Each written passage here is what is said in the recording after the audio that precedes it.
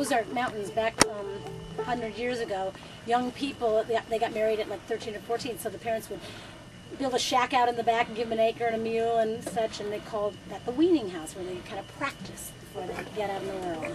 So I play the part of Vincent, the young Vincent Fox. And I'm Fleecy Fox. That's Fleecy Fox.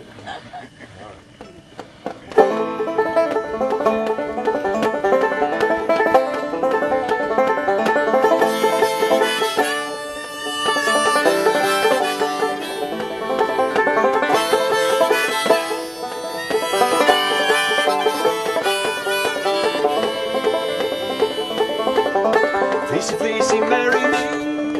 Hook it down to the weaning house. Perfect place for starting out. Blanket mule and a blue tick hound. There's an acre we can plow. Fleecy, fleecy. Vince and I will marry thee if you take a job at the factory. Learn to bend them barrel staves, make about a buck a day.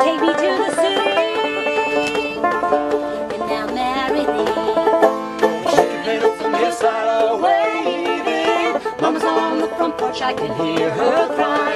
Happy's in the barn, just a praying. We leave before he has to say goodbye.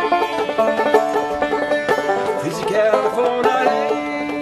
It seems a million miles away. I know that you have a dream. There's a big old world to see. Pack your bags and come with me. Fleecy, fleecy.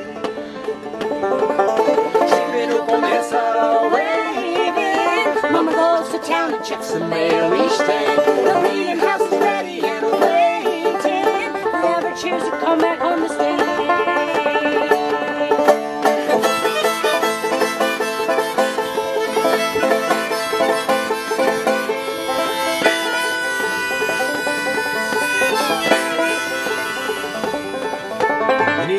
passed on the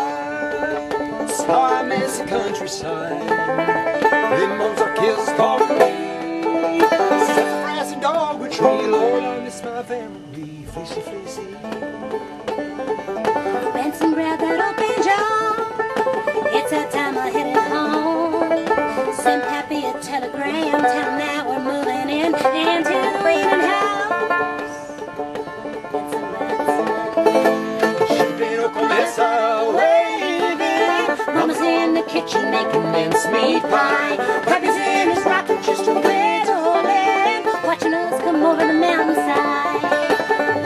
Come over the mountainside.